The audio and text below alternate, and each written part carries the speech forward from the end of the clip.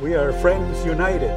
We are Friends United. We are Friends United. Together, we are Friends United.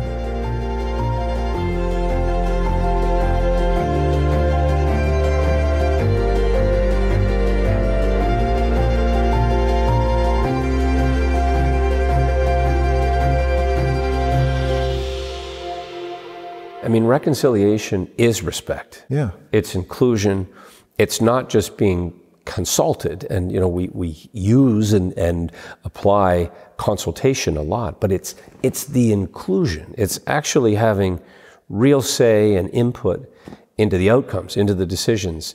Breathtaking pieces of art uh, from really across, across our country, uh, in particular from the Arctic and uh, really stunning when you walk in and, and just see the visuals of these uh, incredible Aboriginal artists who have, uh, through stone and wood and canvas, produced these these beautiful, beautiful uh, depictions of our country, and um, that is, uh, of course, such an important part of of our First Nations culture.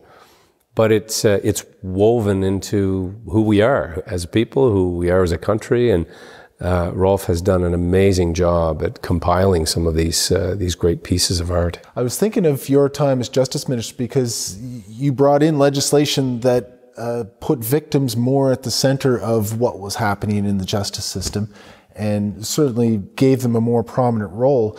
And that strikes me. I don't know if it was something you explicitly thought of at the time, but it strikes me as something that is borrowed or is ad- adapted from the Aboriginal justice culture and thinking, you know, where in the sentencing circle, the victim is included and has a say and talks about, you know, how the crime has affected them. That's absolutely right, Adam.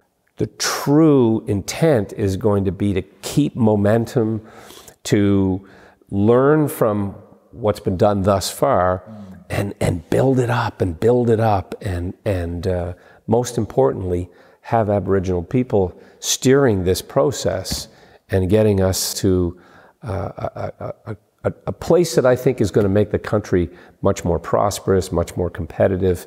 There's so much to be learned just from slowing the pace and, and listening and really taking in what, what's being imparted by elders, by individuals who are out on the land. This is a, you know, this is a living example of it here at this incredible center where you see, in particular, the Aboriginal influence.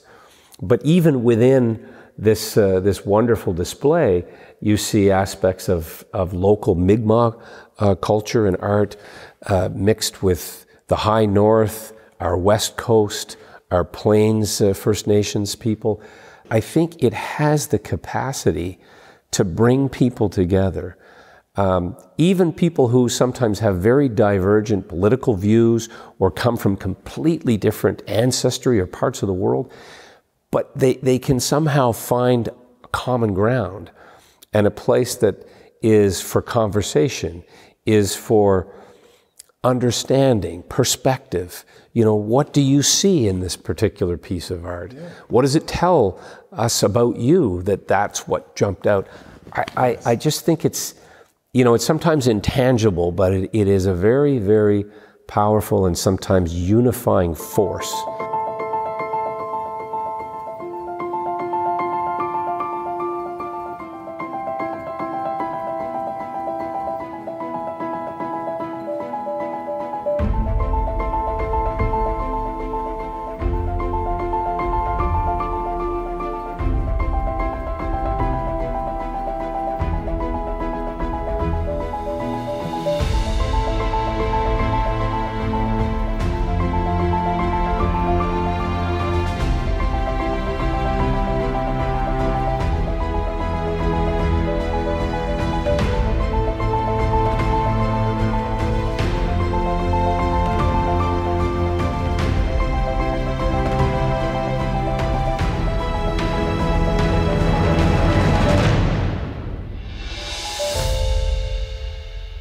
Welcome to the Friends United International Conference Center in Cleveland, Richmond County, Cape Breton, Nova Scotia, Canada. And I'm pleased to be joined today by Peter MacKay. Welcome, Peter. Thank you very much, Adam. It's great to be with you and great to be in this gorgeous serene setting here in Cape Breton. Yeah, isn't it something? Uh, we just did a, a, tour, a little walk around here uh, a minute ago, but uh, you were back here in t- 2015. Uh, I remember uh, we were here together and walked around a little bit. There's been uh, quite a few changes since then. Oh, there sure has. I mean, breathtaking pieces of art from really across across our country, in particular from the Arctic and uh, really stunning when you walk in and, and just see the visuals of these uh, incredible Aboriginal artists who have, uh, through stone and wood and canvas, produced these these beautiful, beautiful uh, depictions of our country, and um, that is, uh, of course, such an important part of of our First Nations culture. But it's uh, it's woven into who we are as people, who we are as a country, and uh, Rolf has done an amazing job at compiling some of these uh, these great pieces of art. It took him uh, it took him a long time. I've been involved uh, fairly closely over the last year, year and a half or so. But this has been a, from his description, a 12 year effort to turn this building, which was a a fish hatchery when he bought it uh, into this art center that we see today. So it's been uh, it's been quite something. Uh, should introduce Peter first.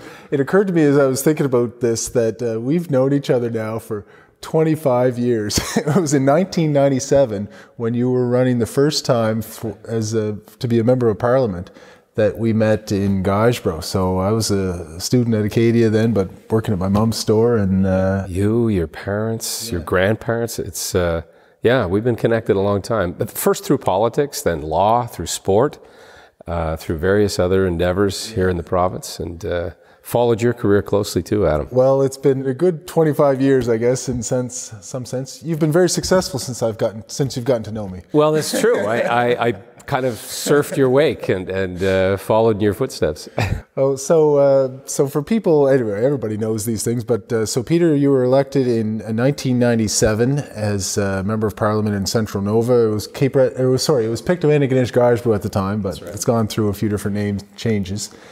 And then uh, he became leader of the Federal Progressive Conservative Party uh, just a few years later, and then subsequently, uh, yourself and Stephen Harper got together and reunited the Conservative Party of Canada and then formed government in 2006, right. 2006 until 2015. And so, as part of that government, uh, as the when you guys were first elected in 2006, you were named the Foreign Affairs Minister. That's right. Which, I mean, I thought was a very important position, especially at the time. It was a new government. I mean, everybody in, across the globe would have known the prime minister, but you know, you were in many ways the face of the government to the world, and so that seemed like a key role.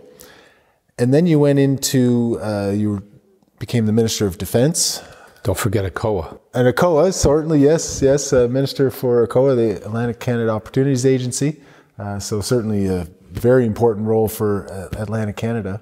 Minister of Defense, uh, obviously during an important time. We were in uh, Afghanistan as a country at that time.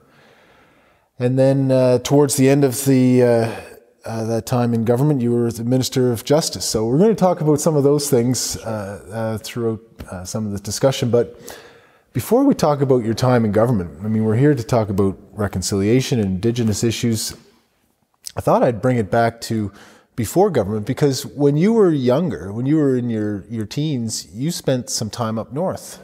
I did, Adam. I um, actually sailed out of Mulgrave on a supply ship, uh, a company uh, based out of Quebec originally, Federal Huron, and a Desgagnés shipping line that was taking supplies to the high Arctic. So many of the, the little communities that found along the the, the high Arctic coastline. Um, and it was it was really formative at that time and i was young i was 17 18 years old we uh, and I, it was the first time i'd really encountered um, really in any kind of a personal interactive way uh, our first nations especially our arctic first nation and uh, you know they were so welcoming to our communities they, i mean they were glad to see us. And I, one of the, the memories is of the kids who would be on the beach.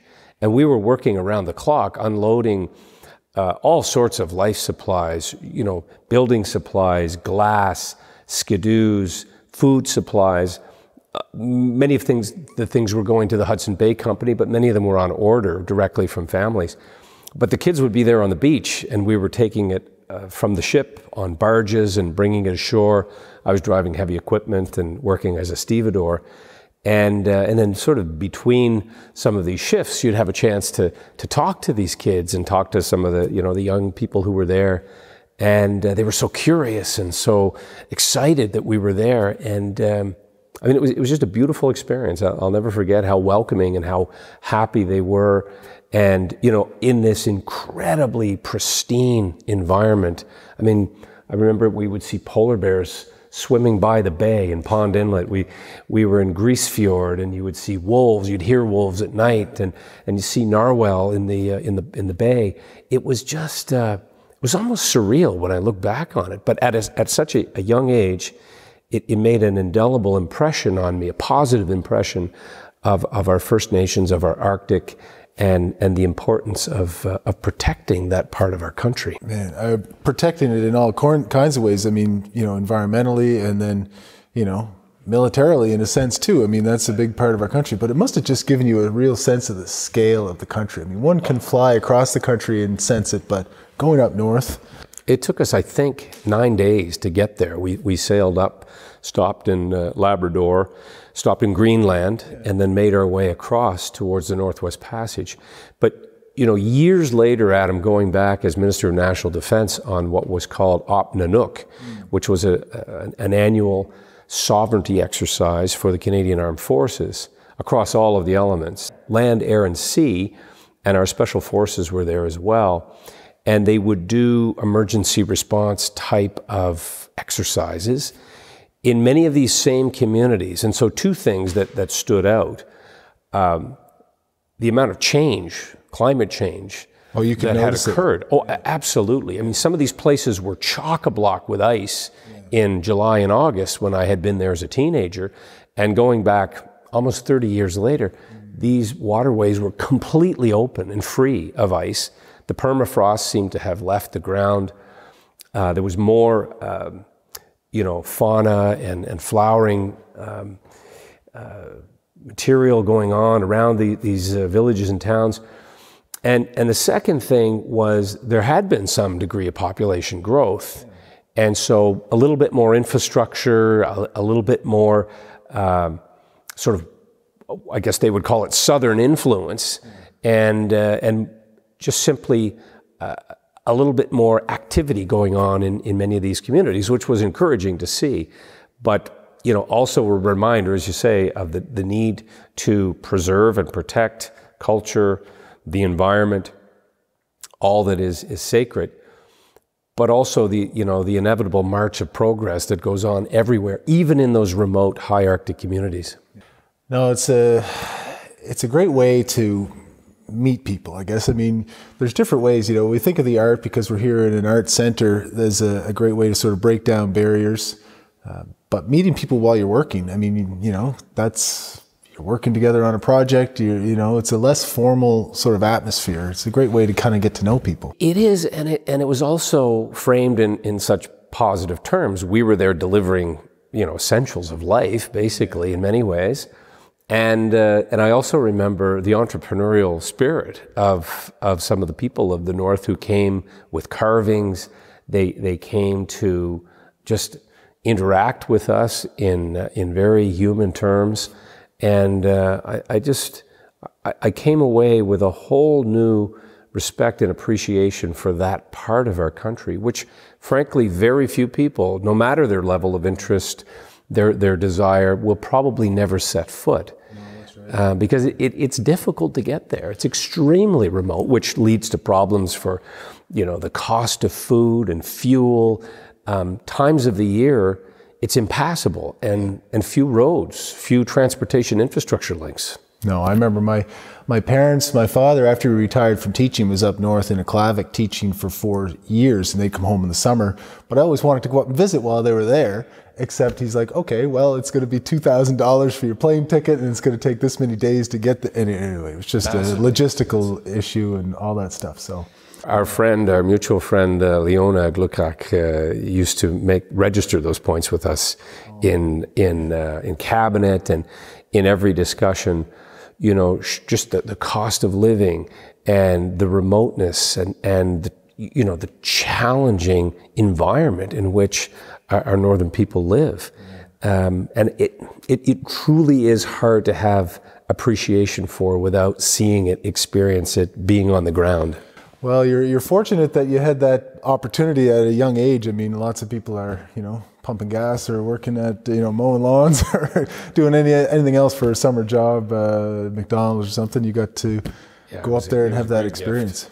The other thing I was thinking of as a sort of a non, I don't know, non-political way to interact is sports. And I was thinking of, you know, because I know you play hockey and rugby and baseball, uh, that Not as good as you. well, we're probably both retired from the very competitive aspects of our lives there, but I was thinking whether you would have played against Pictou Landing teams or, you know, just as a youth, just getting to, to meet people that way. There, there were kids uh, certainly that played uh, within the town leagues, particularly baseball and, and softball. In fact, I remember playing softball.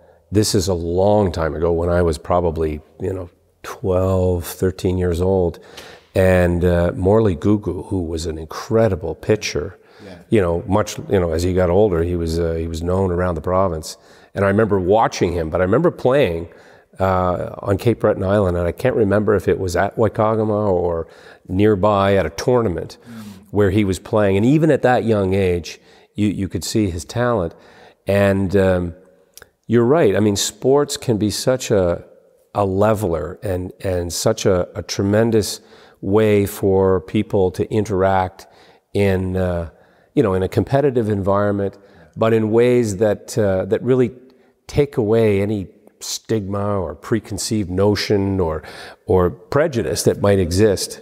You know, you're just there, you're all on the same field together, and it doesn't matter if you're, you've got straight A's in school. Well, you've had that experience many times, more, more than I. But yes, Pictou First Nation, but particularly coming to Cape Breton um, on many occasions through different sports. Uh, we, uh, you know, home teams in Pictou County um, absolutely interacted with, with a lot of our, our First Nations here in Cape Breton Island, and they were formidable. They always had good teams. Well, I know Morley quite well actually, because actually he and I played together for a few years. We were against each other, pitching against each other many times. Yeah. And uh, I don't know quite what my record would be against Morley. It wouldn't probably under 500. He's pretty good. Uh, but we played together and uh, won an Eastern Canadian Championship together. Sports seems to be a great way to say, break down those barriers, uh, socioeconomic uh, or whatever the case may be.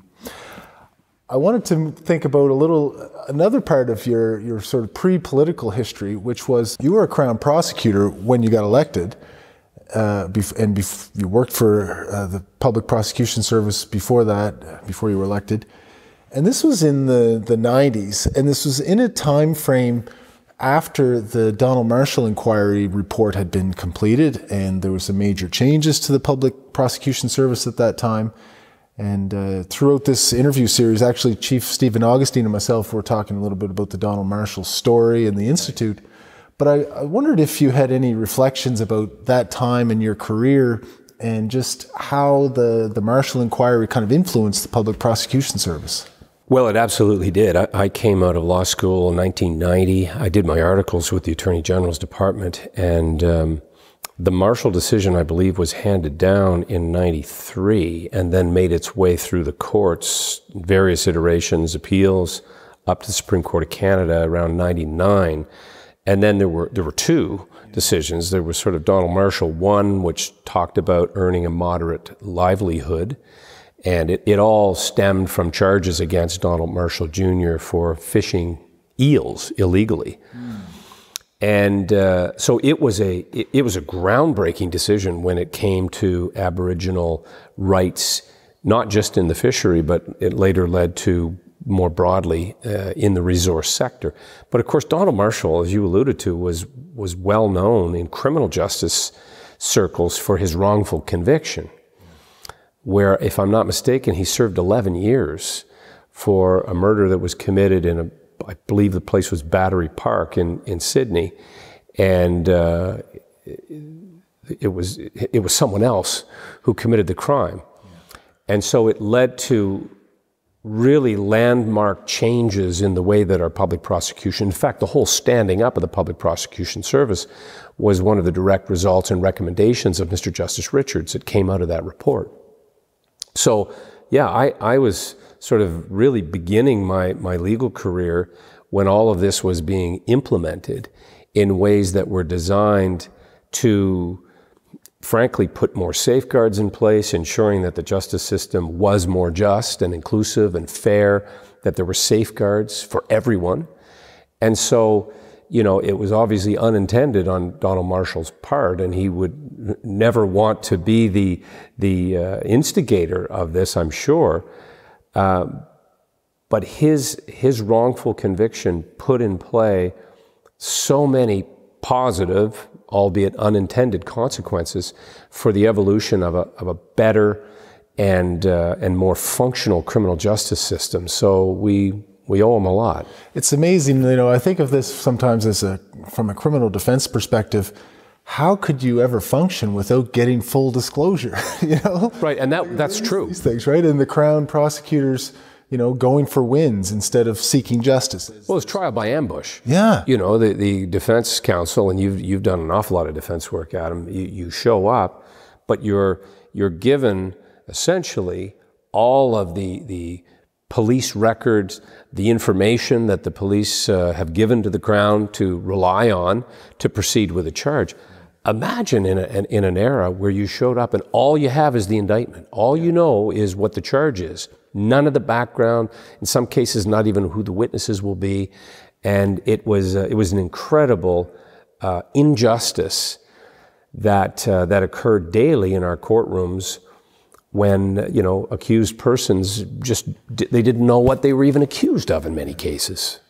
No, I know the, uh, you know, and your time as a prosecutor certainly would have influenced your your time in government as well, uh, especially particularly I would think as your your time as justice minister.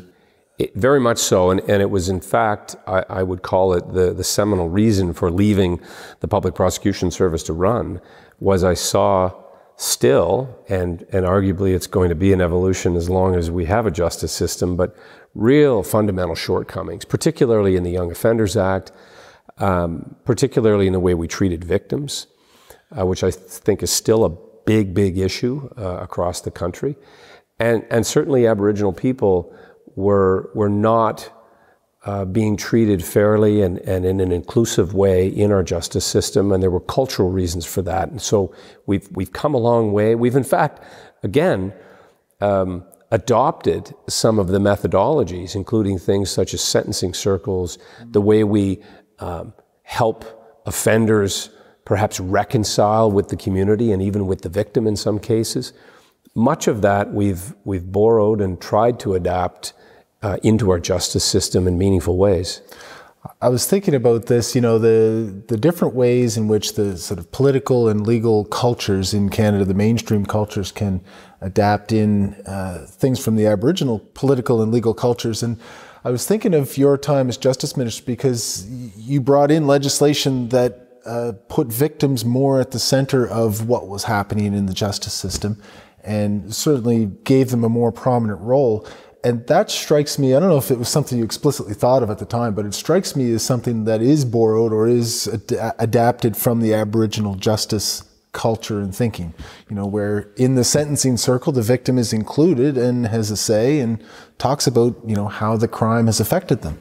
That's absolutely right, Adam. And, and I think, you know, early on in my, my legal career and certainly at the, the Crown Attorney's Office, many of those efforts around uh, real, uh, you know, change to include victims in meaningful ways. And, and I did have a couple of experiences at Pictou Landing First Nation where I saw that happening. Uh, I worked with an RCMP officer named Ronnie Knockwood, who uh, was a very innovative thinker in terms of having, you know, an Aboriginal perspective that drew people together uh, in, in, in, sometimes really difficult circumstances. As you know, in the criminal justice system, you're dealing with people who have been traumatized, who've been physically and psychologically injured in many cases You have offenders themselves who have come through uh, extremely traumatic experience, which has you know emancipated itself in in different ways and and caused uh, violence. And so our system, uh, you know, can very much look uh, through an Aboriginal lens at times to, to try to bring about better outcomes. That, that's ultimately where we want to get. And the Victims' Bill of Rights certainly borrowed some of that you know, philosophic approach to try to, you know, as the saying goes, put the victim back at the place that they would be had the crime not occurred. Very difficult to do in, in sure. some circumstances. But when you're able to bring people together in, a, in a sense, and, and even something as simple as a, and it can be confrontational, but a chance to, to apologize, or for the, the, the abuser or the individual who's caused the crime to hear how that victim felt. Yeah.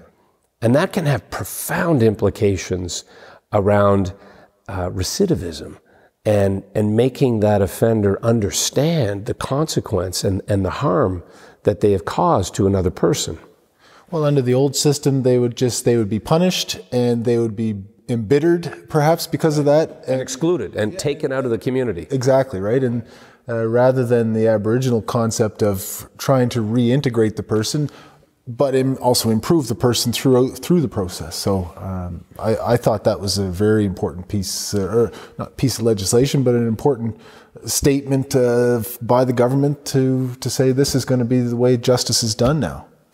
Well, my hope is that it will be more fully embraced than it has been, because I, I think there are still a lot of shortcomings when it it, it comes back to that uh, genuine effort that, that's out there to treat victims in a more holistic way within the system so that they, they go away feeling at least that they've been heard, they've been respected, they've been included. Not, they're not the decision makers, sure. but they, they really want to know that their voice has made a difference. And, you know, that has really, you know, ripple effect, far reaching implications because if a person who's in the justice system, let's never forget for reasons that they you know, had nothing to do with. They, they were a victim. And uh, it impacts their, their view of whether they will want to serve on a jury, whether they will want to report a crime in the future, what they will tell their children and their neighbors about their experiences. I mean, the, the, the justice system sometimes, very often, in fact, has very, very unseen and, and even insidious consequences if it's not properly it's administered you know, the old adage that we learned back in law school that justice must not only be done, but seen to be done. Yes. And so, you know, yes, it impacts one person, offender and, and, uh, and victim, but it also affects everybody around them, and most notably their family. So certainly that was an important issue and uh, right in the wheelhouse of being justice minister to bring in that kind of uh, legislation. But I mean, your government, that wasn't the only sort of Aboriginal uh, issue that was uh, in the forefront of your government? I mean, uh, we had the uh, apology from the, the prime minister, which I think was a very powerful moment in, in our country. And then even the fact of Leona Aglukkaq being named a minister. I mean, uh, I guess from your perspective, are, are those some of the highlights uh, during your time in government in terms of the you know indigenous uh, relations? Uh, it, goes, it goes beyond that. Those are, those were certainly highlights, and I, I can't say enough positive about Leona and the impact that she had during her time both as health minister and environment minister. Two of the very you know difficult files to say the least. And she brought with her the experience of having served at the, the territorial government level, which is a much less uh, acrimonious, confrontational type of system um, in the North. So she brought that experience and, and her, own, her own personal um, intelligence and insight into Aboriginal issues generally when they came to the cabinet table. Jim Prentice was Aboriginal minister, and Bernard Valcourt and during my, my time at Justice, um, in particular, working with, uh, with Bernard around the land claims. And I remember early days being briefed by deputy ministers and, and those responsible within the department for some of these outstanding land claims and saying, you know, walk me through why we're still contesting some of these matters as opposed to trying to find a, you know, a, a peaceful resolution rather than working its way all the way up to the Supreme Court. And another area where I recall, you know, and, and as sadly that it didn't come to pass, but was in the area of really, as a federal government, taking a major step towards turning over the responsibility of education to First Nations. Shawn Atleo was the Grand Chief at that time. And we had very, you know, substantive discussions about how to best do that.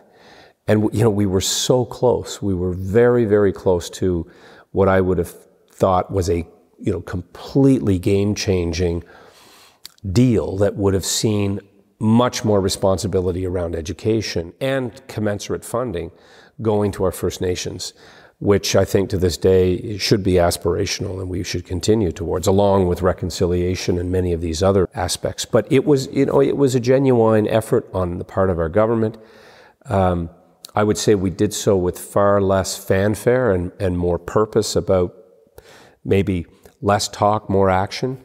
And Leona informed so much of that. And I remember we had cabinet meetings uh, in Iqaluit, for example. Yeah and you know, I referenced going there numerous times with the Canadian Armed Forces. We have the Rangers there. We were, as a government and, and, and my capacity as minister, looking to expand the size of the Rangers unit, which is a predominantly uh, First Nations led and, uh, and personed unit of the Canadian Armed Forces they're called the eyes and the ears of the uh, the armed forces in the north, but they they do such an incredible amount of work and patrol and information gathering, and they interface.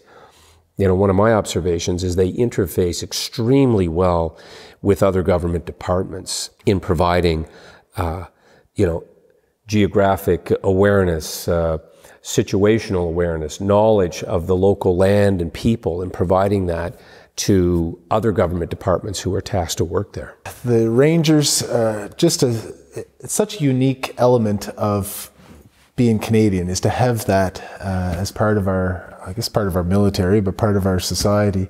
And what you talk about, you know, education and having that sort of uh, devolved more to a local level, uh, that seems strikes me as an important part of reconciliation uh, to give more responsibility. Very much so, Adam, and way beyond just the symbolism of it. Um, like local policing, having local Aboriginal members serving in uniform and, and being part of that, albeit, you know, we're, we're still a long way from doing what I think is necessary to protect the Arctic and to promote sovereignty and ensure we're doing our, our level best to preserve that environment from climate change and, and spills and, and anything that's going to uh, really cause damage. But we really have a lot to learn from them. I mean, the, the, the, Franklin expedition discovery, for example, had they simply, you know, the scientists, and this is not, not anti-science, but had they listened to local people and the folklore of where those ships were, yeah. I suspect we would have found them years ago.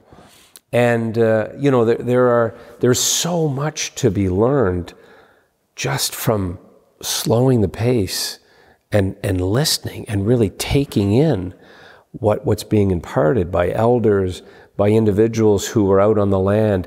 You know, the hunting um, community is such an important part of the culture. And the respect that they have for, for the animals, for this, mainly the marine animals, that live there. You know, um, it just came back to me the, the best shot, the top shot in the Canadian Armed Forces during much of my, my six years there was a young man from the Arctic, and I wish I could think of his name. But he, uh, he was a hunter. Yeah.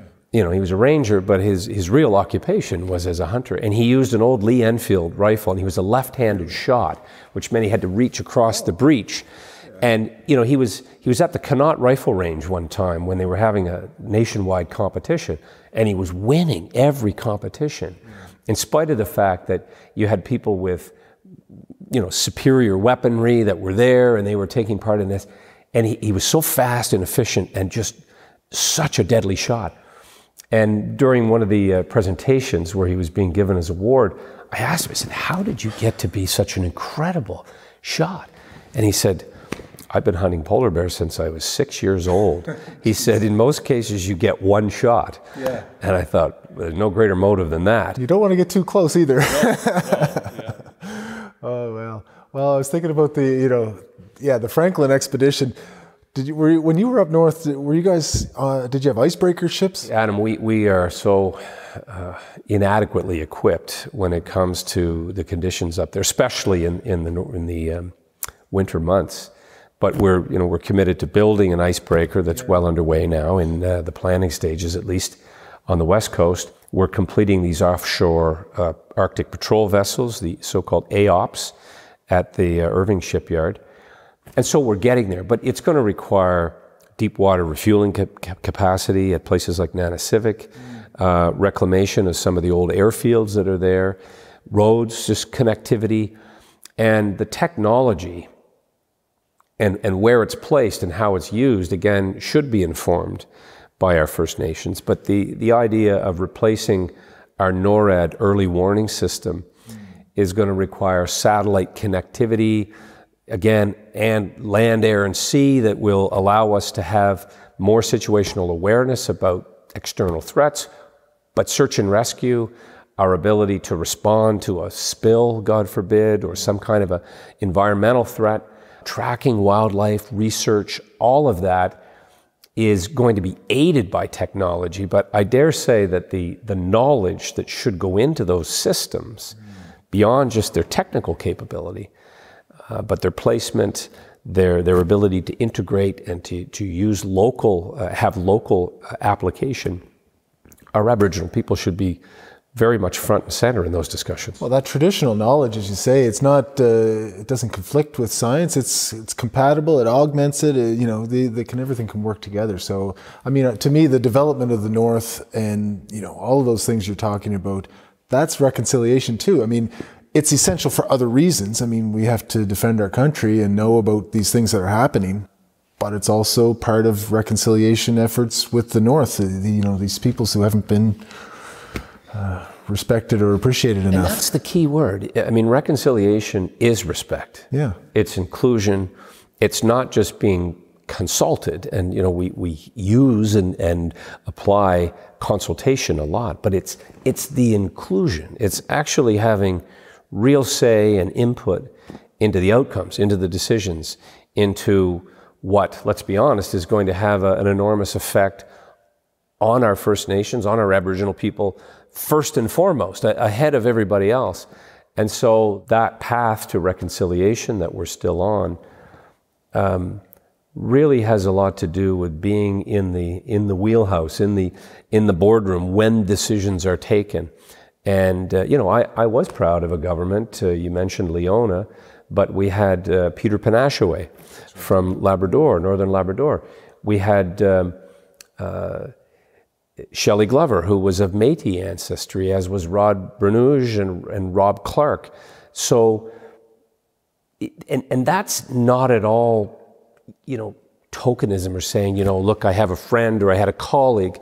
It's, it's really saying, you know, this is an important part of what are the next steps and the one after that, that decisions are being taken um, by Aboriginal people and, and informed ones, ones that, uh, that, that really are going to get us to that proverbial better place. Well, I'm familiar. Of course, we know Leona Aglukkaq here. She's been part of this interview series, and she's been here to the center a few times, and you know, just a very intelligent, formidable person.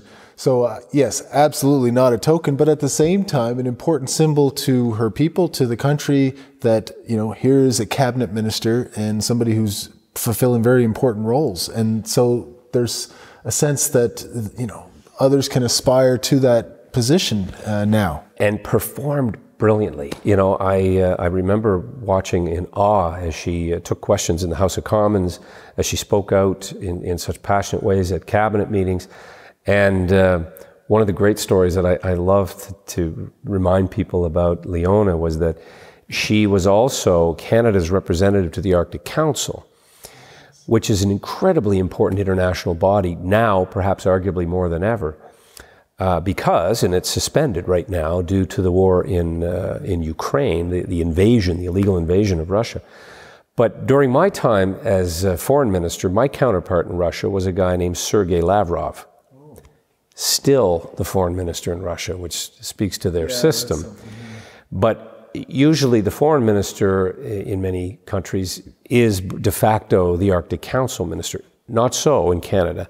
Uh, Leona filled that role during our time in government and during her tenure. And so I was happy to defer to her, but I worked with her on many of those files. But did she ever put Sergei Lavrov in his place? And I, I sat around NATO tables, then G8 tables. I'd seen Sergei Lavrov, and he was no pushover. He had yeah. 10 years' experience at the United Nations, you know, a, a hard nosed, diplomatic, Soviet style politician.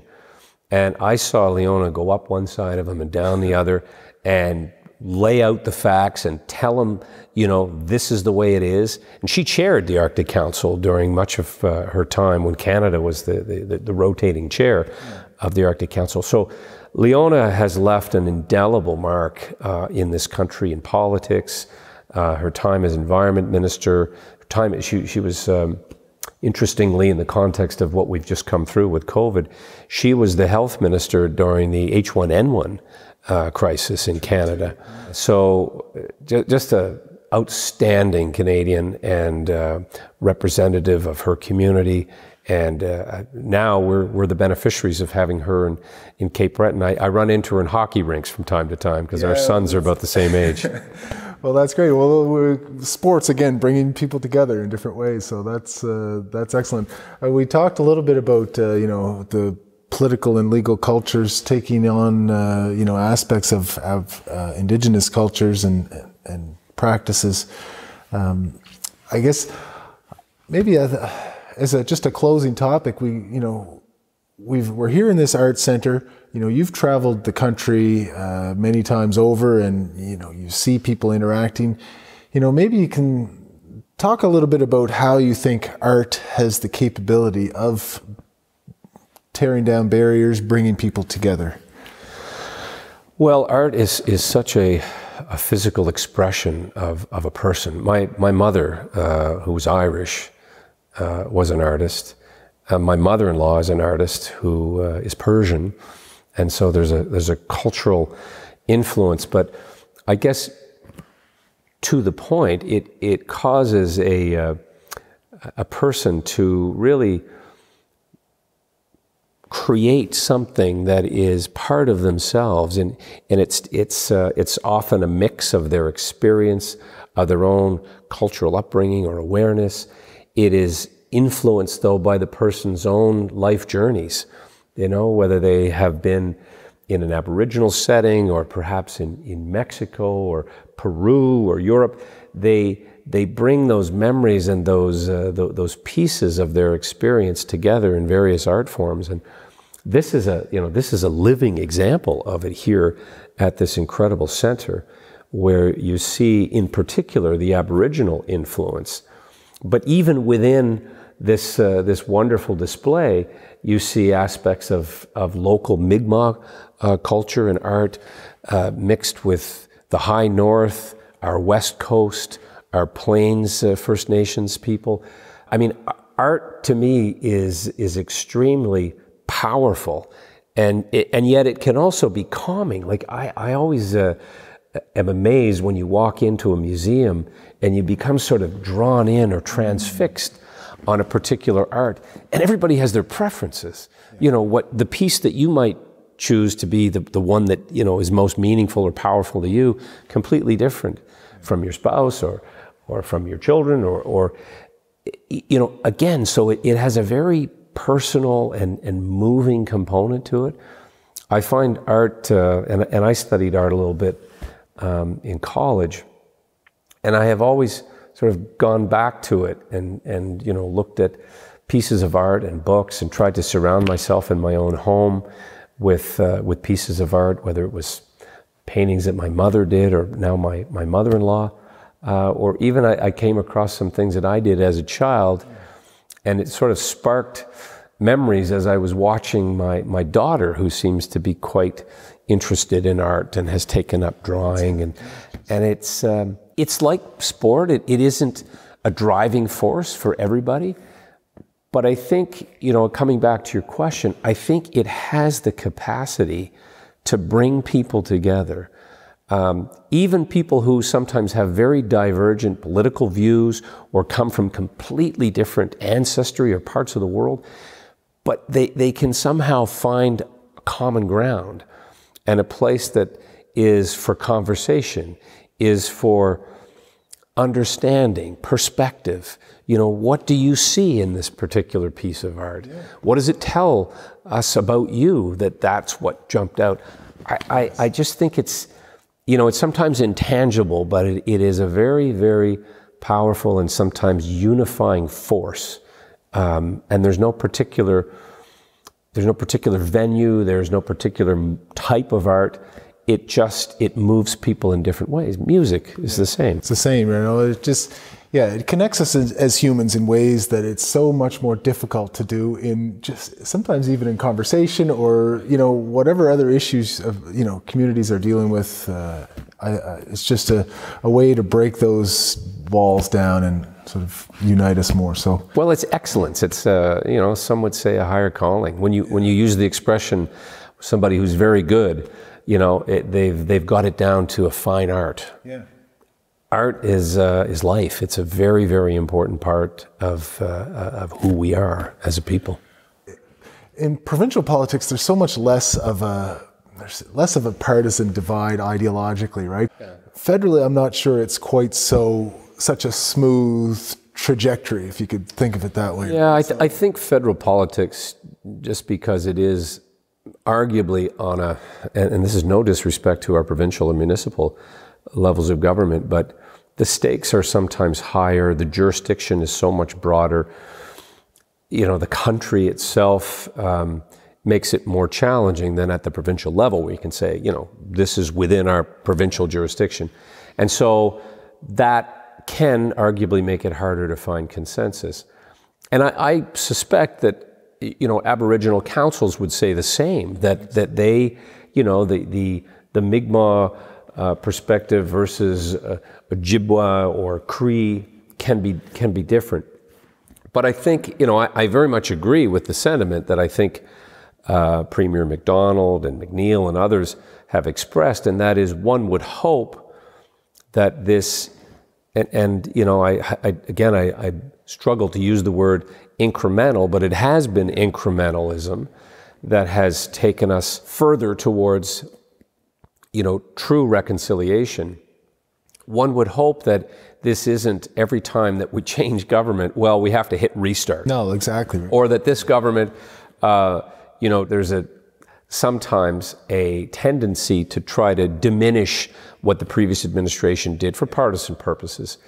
And I, I, we can't afford to do that.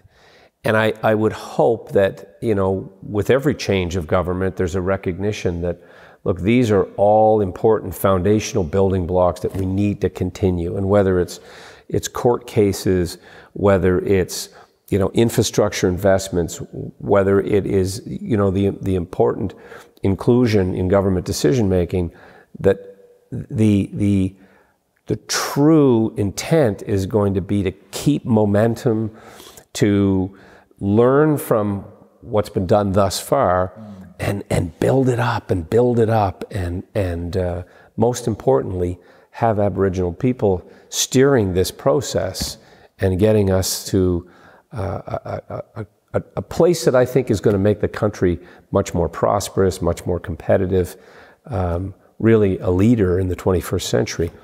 Because it's, uh, you know, it's not, it's not our country's proud history around our, our Aboriginal people that um, it, it, it's that history that I think will, will be very difficult to allow us to reach our true potential unless uh, we find that better place. No, 100%. Uh, I just think to have your perspective on those issues and to, to, to hear about your experiences up north and across the country is going to be very valuable for a lot of people. So really want to thank you for coming here and sharing that with us and uh, just, you know, telling us a little bit about what you're thinking and what you've been doing. Well, thank you very much, Adam. Appreciate that. Appreciate your friendship, and uh, it's been a great conversation. We are Friends United. We are Friends United. We are Friends United. Together, we are Friends United.